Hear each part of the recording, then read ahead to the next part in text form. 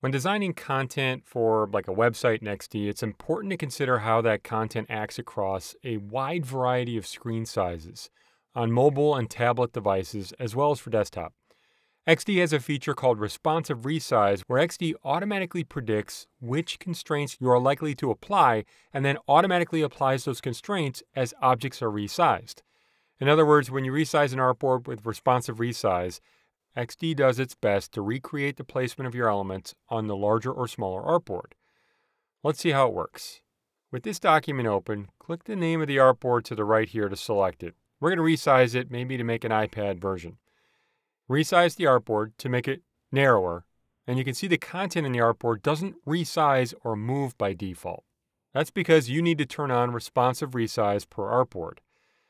So press Command and Z on Mac OS or Control and Z on Windows to undo the resizing. Come over here and enable responsive resize, then resize the artboard again.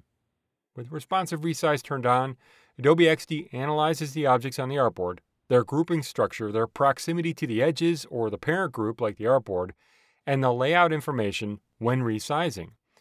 When resizing, pink crosshairs appear on the content that's being resized. These crosshairs indicate that constraint rules are applied to a group. Constraint rules are used to determine how objects behave when you resize them. Undo the resizing again by pressing Command and Z on Mac or Control and Z on Windows. Now, before resizing the artboard, you can group similar objects to establish relationships between them. Select all of this content, and then press Command and G on Mac or Control and G on Windows to group it. Now try resizing the artboard again to see the relationship. When resized, grouped objects stay together by default and allow you to establish a hierarchy in your projects. Go ahead and undo the resizing again by pressing Command Z on Mac or Control Z on Windows. Now, if you're not happy how the content is resizing, like this image right here, you can also edit constraint rules manually. This enables you to determine how objects behave when you resize the component, the artboard, or the group. Manual constraints you apply will always override automatic constraints placed by XD.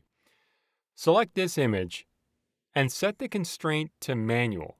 And then you've got some options here. You can set which side of the artboard it's fixed to and whether the width or height has a fixed width or not. Turn off fixed width, that way the width can resize. Resize the artboard again, and you'll see what happens.